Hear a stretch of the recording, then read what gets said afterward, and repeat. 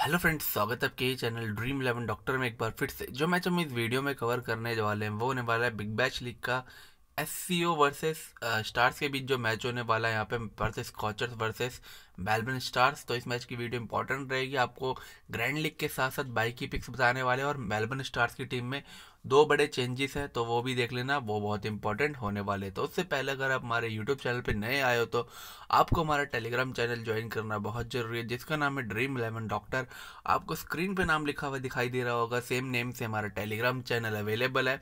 पर आपको हमारे टेलीग्राम के जो रियल और ओरिजिनल चैनल है, उससे कैसे जुड़ना है, आपको सिंपली करना क्या है? वीडियो के नीचे जहाँ कमेंट करते हो, वहाँ आपको हमारे टेलीग्राम चैनल का लिंक मिल जाएगा। सबसे ऊपर ब्लू कलर का लिंक होगा। जैसे आप हमारे टेलीग्राम चैनल के लिंक पे क्लिक करोगे टेलीग्राम चैनल ओपन हो जाएगा। देन उसको ज्वाइन कर लेना। ग्रैंड लिंक में रैंक वन की फ़ोटो लगी होगी। तो एक चीज़ आपको ध्यान रखनी है टेलीग्राम चैनल से जुड़ने के लिए वीडियो के नीचे कमेंट में जो लिंक दिया है, उसी का यूज़ करना है, तभी आप हमारे सही और ओरिजिनल चैनल के साथ जुड़ पाओगे। तो वीडियो के नीचे दिए हुए कमेंट या फिर वीडियो के नीचे डिस्क्रिप्शन में दिए हुए लिंक वीडियो के नीचे कमेंट में दिए हुए लिंक या फिर डिस्क्रिप्शन में दिए हुए लिंक का ही यूज़ करना है। तो करते हैं वीडियो को स्टार्ट तो ग्राउंड रहने वाला है अरोरा स्टेडियम लॉन्चेस्टन जहाँ पे कल आपको मैच देखने को मिला था। कल वहाँ पे मैच हुआ था। तो आपने स्कोर देखा, डेढ़ सौ के आसपास स्कोर बना। तो ऑन एवरेज इस पिच पे जो स्कोर बन सकता है, वो 160 के अराउंड देखने को आपको मिल सकता है एवरेज स्कोर ठीक है? तो आपको ये रहने वाली है। और दूसरी बात ये है तो एक नाइट मैच होने वाला जो टीम पहले टॉस जीतेगी। डेफिनेटली आपको दिखेगा कि बॉलिंग करते हुए वो पहले बॉलिंग करेगी। तो आपको ये चीज़ देखने को मिलने वाली है। क्योंकि बाद में कोई भी टीम विंटर के टाइम पे ड्यू का फैक्टर फेस नहीं करना चाहती तो जो भी टीम पहले टॉस जीतेगी, वो पहले आपको फील्डिंग करते हुए नज़र आएगी। तो मेलबर्न स्टार्स ने जो अपना स्क्वाड अनाउंस किया, वो ये स्क्वाड अनाउंस किया, एक, दो, तीन, चार, पाँच छः सात, आठ, नौ, दस, ग्यारह, बारह, तेरह एक चौदह मेंबर्स का स्क्वाड है। एक, दो, तीन, चार, पाँच छः सात, आठ, एक, दो, तीन, चार, पाँच छः सात, आठ, नौ, दस, ग्यारह, बारह, तेरह, चौदह मेंबर्स का स्क्वाड है। और इसमें से अगर देखोगे तो दो बड़े नाम ऐड किए गए, जिसमें है निकोलस पूरन और दूसरा है निक मेडिसन ये दो बड़े प्लेयर ऐड किए गए तो अब गए कौन है बाहर? दिलबर हुसैन, जो कल लास्ट मैच में इंजर्ड हो गया था, वो मेरे ख्याल से चार से छः वीक तक नहीं खेल पाएगा। तो वो बाहर गया और दूसरा में भी सैप गौच बाहर हुआ है, ठीक है? तो उनकी जगह ये आया है। तो यहाँ पे डेफिनेटली निकोलस पुरन को मुझे लगता है टीम में जगह मिलेगी और इवन निक मेडिनसन को, क्योंकि दोनों ही टी ट्वेंटी फॉर्मेट के वन ऑफ़ दी बोल सकता हूँ, निकोलस पुरन को आई थिंक आप जानते होंगे, पर निक मेडिसन भी बहुत बढ़िया प्लेयर है टी ट्वेंटी फॉर्मेट का।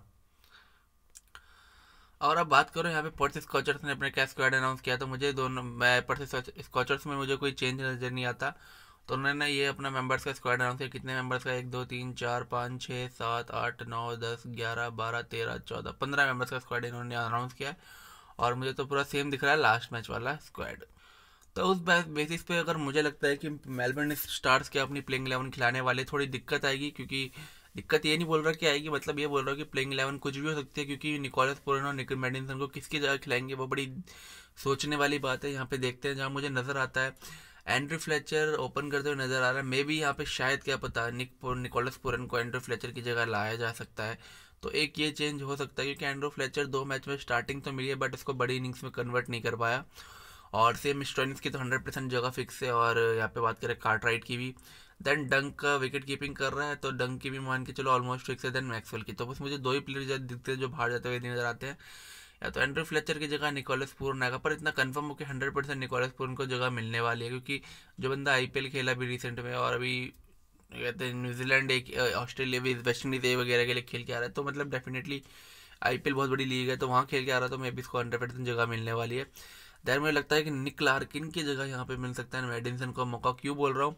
क्योंकि देखो निक मेडिसन अच्छा प्लेयर है कंसिस्टेंट प्लेयर बट मेडिसन है, वो है टी ट्वेंटी का स्पेशलिस्ट और टी ट्वेंटी का वन ऑफ़ द बेस्ट मतलब बोल सकता हूँ मैं ऑस्ट्रेलिया की टीम में एक टाइम में बहुत बेस्ट बेस्ट बैट्समैन में आया करता था। और अगर आपको शायद याद हो तो आई भी खेल चुका ये बेंगलोर की तरफ़ से। तो Nick Maddinson T twenty format का ही प्लेयर है। ये टी ट्वेंटी फॉर्मेट में ज़्यादा सूट करता है। वैसे ऑस्ट्रेलिया के लिए टी ट्वेंटी खेल चुका है, मे भी और टेस्ट मैच भी खेल चुका है। बट ये टी ट्वेंटी फॉर्मेट का मतलब हिटिंग बहुत अच्छी कर लेता है। निक लार्किन से बहुत बेटर है हिटिंग करने में। और निक लार्किन थोड़ा सिंगल डबल ज़्यादा खेलता है। बस ये डिफरेंस है तो मुझे लगता है कि निक लार्किन की जगह मेडिसन को मौका नज़र आ सकता है। बाकी मुझे चार ये चेंज नहीं नज़र आते और एक चांस ये भी बन सकता है कि आपको ये दिख सकता है कि मेडिसन ओपन करते हुए नज़र आ सकता है। क्योंकि मेडिसन ओपन भी करता है और ओपन भी कर चुका है पहले तो ओपन करते मैंने ओपनिंग भी कर चुका है और मिडिल ऑर्डर पर भी खेल लेता है। तो यहाँ पे हो सकता है कि फ्लेचर को बाहर करके मेडिसन को ओपन करवाए देन पूरन को मिडिल ऑर्डर में खिलाए। डंक की जगह डंक नीचे आ सकता है। तो ये हो सकता है कुछ चेंजेस बाकी टॉस के बाद पता चल जाएगा हमें। बाकी है निकला नेथन कल्टर नाइल, जो लास्ट मैच नहीं खेला था।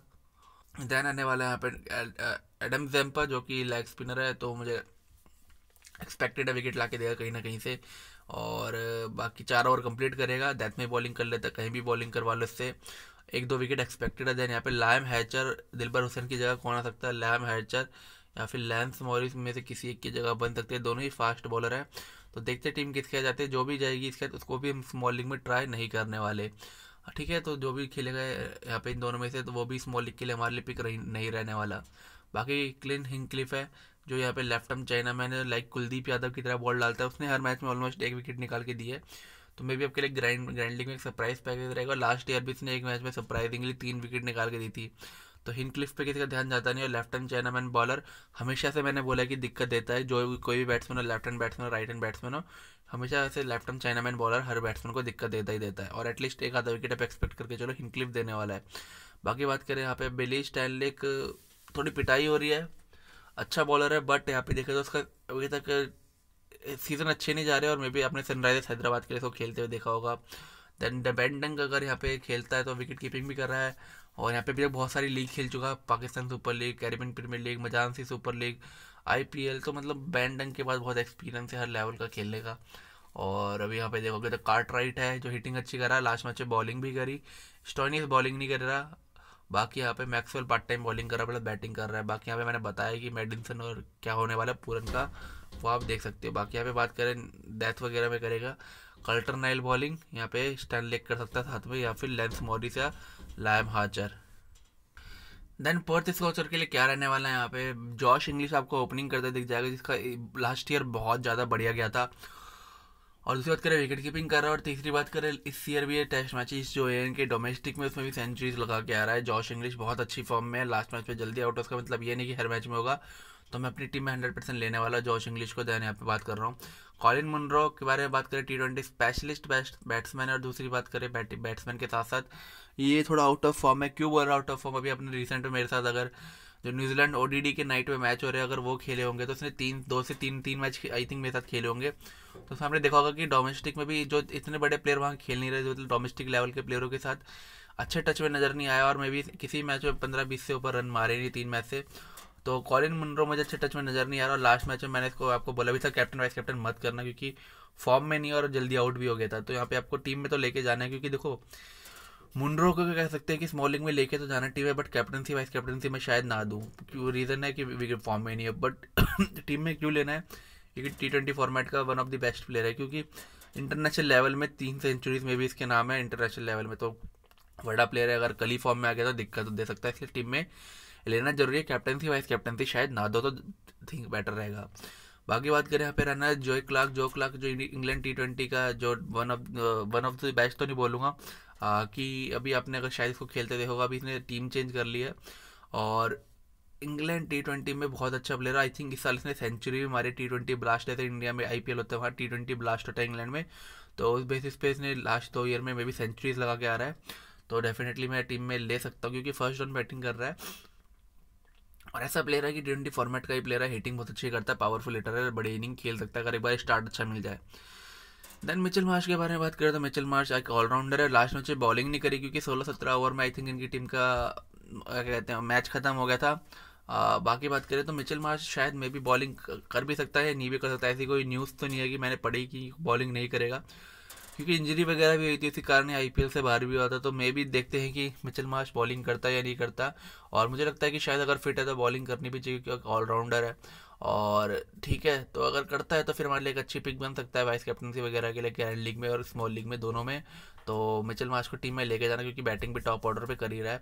और मे भी सरप्राइजिंगली बॉलिंग भी कर सकता है। जैसे कि हार्दिक पांड्या बोलता है कि इंजरी वगैरह है तो उसने एक मैच में बॉलिंग भी करी तो मे भी मिचल मार्च भी कर सकता है। बाकी बात करें एस्टन टर्नर जो मोहाली प्लस फिनिशर मैंने लिखा हुआ मोहाली में अगर आप आई थिंक इसको याद आपको फोर्टी फाइव बॉलों के आसपास इसने एट्टी फोर रन की मैच विनिंग इनिंग खेली थी इंडिया के अगेंस्ट मोहाली में। तो और फिनिशर और दूसरी बात टीम का कैप्टन भी है और एक बात कैप्टन के साथ साथ बात करें तो यहाँ पे बैटिंग ऑर्डर में यहाँ पे आ भी रहा है। और कल लास्ट मैच में एक ओवर भी करा बट अभी ये मैं सोचना कि रेगुलर बॉलर है, शायद आपको ना दिखे पूरे टूर्नामेंट में दोबारा बॉलिंग करते हुए। तो मेन बैट्समैन और ऐसा फिनिशर का रोल प्ले करने वाला है और मेजोरिटी ऑफ़ लोग कल लास्ट मैच के अकॉर्डिंग इसको टीम में लेके भी गए आप ले भी सकते हो क्योंकि अच्छा प्लेयर है टी ट्वेंटी फॉर्मेट का यहाँ पे एस्टन टर्नर बाकी बात करोगे, यहाँ पे होने वाला है बैन कैमरन बैनक्रॉफ्ट जो कि बहुत क्लासिक प्लेयर है। बट एक क्लासिक फ़ायदा क्यों नहीं इसको? क्योंकि अब टी ट्वेंटी फॉर्मेट में जो प्लेयर ऐसा है कि जो नीचे चौके वगैरह बहुत अच्छे लगाता है और क्लास प्लेयर होता है, वो शायद टीम ऊपर भेजे तो ज़्यादा बेटर रहेगा। बट यहाँ पे टीम इसको नीचे भेज रही है बट अब ऊपर भी किसकी जगह किस, किसकी पोजीशन में भेजे वो भी बड़ी दिक्कत है, क्योंकि अब इतने सारे अब स्टार प्लेयर खिलाओगे तो भी डेफिनेटली टीम में दिक्कत होने वाली है। बट मैं आपको उतना ही बोलूँगा ग्रैंड लीग में ज़रूर ट्राई कर लेना। अगर दो तीन विकेट जल्दी करते तो कैमरन बैनक्रॉफ्ट ऐसा प्लेयर है कि इसने बहुत बार सत्तर सत्तर रन बनाए हुए ऐसे अस्सी रन बनाए हुए टी ट्वेंटी ब्लास्ट में तो बहुत बढ़िया प्लेयर और ऑस्ट्रेलिया के लिए टी ट्वेंटी बेस्ट और टेस्ट मैच में ओपन भी कर चुका है। बाकी एरोन हार्डी लास्ट मैच में बैटिंग करी, अच्छी बैटिंग करी, कुछ रन मार के गया, और एक ओवर भी डाला। बट मैं इसको स्मॉलिंग में नहीं लेने वाला, देन यहाँ पे रहने वाला है यहाँ पे जायर रिचर्डसन, जो कि मैंने आपको लास्ट में बोला भी था कि विकेट टेकर बॉलर है कहीं ना कहीं से पॉइंट देने की कैपेबिलिटी रखता है प्लस बॉलिंग प्लस बैटिंग दोनों से पॉइंट दे सकता है और बहुत अच्छा फील्डर भी है। तो मैं यहाँ पे जायर रिचर्डसन के साथ जाने वाला हूँ विकेट टेकर बॉलर है। अगर एंड्रू टाई है अब पहले ज़्यादा अच्छा विकेट टेकर बॉलर था बट अब रिसेंट में इतनी अच्छी विकेट टेकिंग कैपेबिलिटी रही नहीं इसकी बट स्टिल बोलूँगा कि चार ओवर कंप्लीट करेगा जैसे बॉलिंग करेगा। एक या दो विकेट आप एक्सपेक्ट कर सकते हो। और आईपीएल में अगर आपने राजस्थान रॉयल्स के लिए खेलते हुए देखा होगा, पंजाब के लिए खेल चुका है। बाकी यहाँ पे नकल बॉल स्पेशलिस्ट है। और नकल बॉल स्पेशलिस्ट मैंने आई थिंक आपको याद होगा कि बॉल चलती है कि इसमें फिंगर को मोड़ के डालते बॉल को। तो वहाँ पे अगर नकल बॉल में इसने शुरुआत की थी और बहुत बढ़िया बॉलर है। और मे भी आई में डेब्यू में ही पहले मैच में इसने अपनी हैट्रिक ली थी। तो अच्छा बॉलर है, बाकी बात करें, फवाद अहमद है लेग स्पिनर है। एक्सपेक्ट करता हूँ विकेट निकाल के देगा, कहीं ना कहीं से चार ओवर डाल रहा है। एक विकेट तो एटलीस्ट हर मैच में निकाल के देता ही देता है फवाद अहमद। इसका रिकॉर्ड मैंने, इसको मैं जब से फॉलो कर, देखता हूँ, इसको तो इसका मान के चलो हर मैच में एटलीस्ट एक विकेट निकाल के देने की कैपेबिलिटी इसके पास है। बाकी जेसन बेरेंडॉफ के बारे में बात करें तो लेफ़्ट आर्म फास्ट बॉलर है और 2019 वर्ल्ड कप में ऑस्ट्रेलिया के लिए अभी खेला था और दूसरी बात करें स्विंग बॉलर है और इंडिया में जब इसका मैच हुआ था, इंडिया वर्सेस ऑस्ट्रेलिया का तो उसमें इंडिया के अगेंस्ट इसने एक टी ट्वेंटी मैच में चार विकेट भी ली थी और स्पेशली ये स्टार्टिंग में शिखर धवन वगैरह जैसे लेफ़्ट हैंड बैट्समैन को बहुत परेशान भी करता है। और ये पावर प्लेयर टाइप बॉलर है, ये डेथ में बॉलिंग नहीं करता तो ये आपको स्टार्टिंग के छः से आठ ओवर में अपने तीन से चार ओवर पूरे डालते हुए दिख जाएगा। और मे बी तेरहवा चौदह, ऐसा हो सकता है कि छः ओवर तक अपने तीन ओवर कंप्लीट कर ले, बाकी तेरहवा चौदह ओवर में आके एक ओवर करे। बट डेथ में बॉलिंग बहुत कम करता है या करता नहीं है जैसन बैरनडॉफ बाकी मुझे लगता है कि टीम को एक चेंज करना चाहिए और कर भी सकती है, जो शायद होता है मैथ कैली को लाना चाहिए यहाँ पे। हार्डी की जगह टीम शायद लाए तो ज़्यादा बेटर रहेगा, क्योंकि देखो मैथ कैली एक बहुत बढ़िया पावर प्ले बॉलर वो डेथ बॉलर से यॉर्कर किंग है यॉर्कर किंग कहा जाता है इसे और डेथ में बहुत अच्छी बॉल डालता है यॉर्कर वगैरह। और आइटम फास्ट बॉलर है तो मैं अगर खेलेगा तो ग्रैंडलिंग में ज़रूर ट्राई करने वाला मैथ कैली को। जॉयल पेरिस मुझे लगता है कि शायद कम चांसेस है। लेफ़्ट आर्म फास्ट बॉलर ये भी ऑस्ट्रेलिया को रिप्रेजेंट कर चुका है इंटरनेशनल लेवल में। बाकी है कृतिक पैटरसन जो टेस्ट प्लेयर है टीम में जगह कहीं दिख नहीं रही तो मुझे लगता है नहीं बन पाएगी जगह लेफ़्ट हैंड बैट्समैन है। देन सैट सैम वेटमैन है जिसका लास्ट ईयर और इस ईयर भी बहुत अच्छा गया है। और अभी इस ईयर एक, में से एक, एक, एक या दो सेंचुरीज लगा के आ रहा है टेस्ट मैचेस में जस्ट अभी एक एक, एक महीना भी नहीं हुआ है। तो बहुत अच्छी फॉर्म है और ओपनर प्लेयर है तो ओपनिंग में मुझे कोई और स्पॉट दिखता नहीं तो शायद ये बाहर ही बैठेगा लास्ट मैच की तरह। और इसका तो मुझे चांस नज़र ही नहीं आता। तो सब कुछ देखते हुए मैंने आपके लिए बैलेंस टीम बनाने की कोशिश करी। अगर निकोलस पूरन खिलाती है टीम तो डेफिनेटली उसके लिए मैंने अलग टीम सोची हुई है।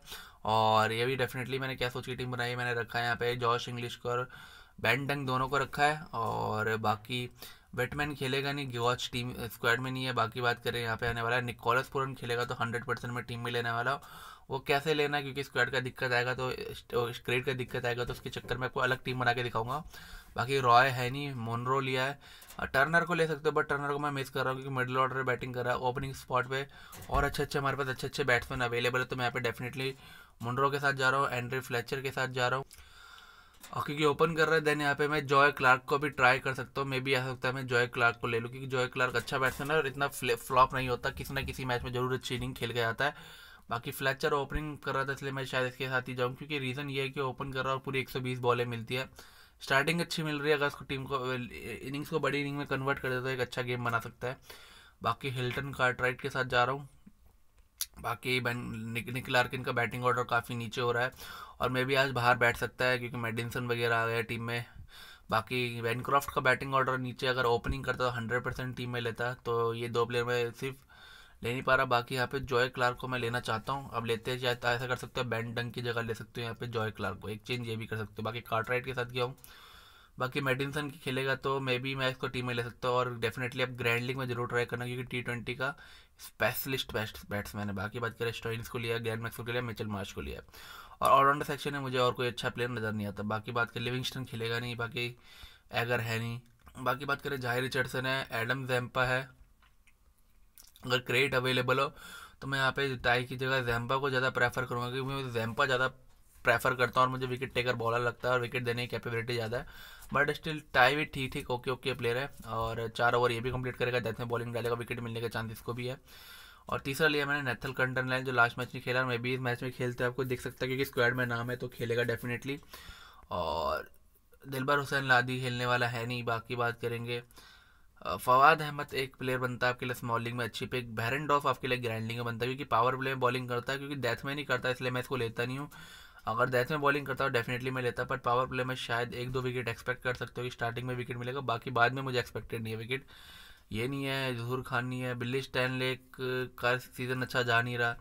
बाकी बात करें कल्टर नाइल अच्छा रहेगा। निक निक कैली खेलता तो ग्रैंड लीग में ज़रूर ट्राई करना। बाकी नीचे देखोगे तो मुझे हिनक्लिफ आपके लिए ग्रैंड लीग पिक रहेगा और कोई मुझे इतना अच्छा नज़र नहीं आता।